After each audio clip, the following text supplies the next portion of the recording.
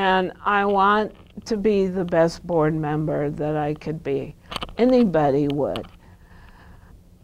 And so it's up to the agency or the organization to um, to help us so that that can happen.